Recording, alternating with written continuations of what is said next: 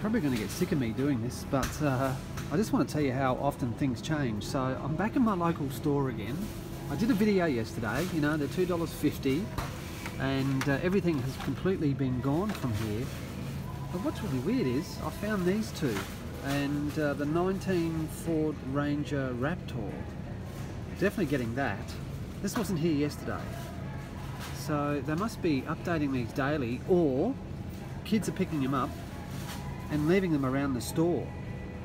You know, like maybe they put them in their uh, parents' uh, baskets and when they get to the checkout the parents go, no, nah, you're not having that. So anyway, I'm going to get that and this one. Look at this one, the uh, 83 Chevy Silverado.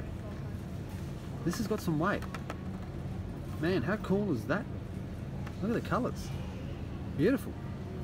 So it just pays to check every day in this uh, little section. So um, yeah, there we go. And tomorrow I'll go to another shop and have a look there. So have a great Sunday guys.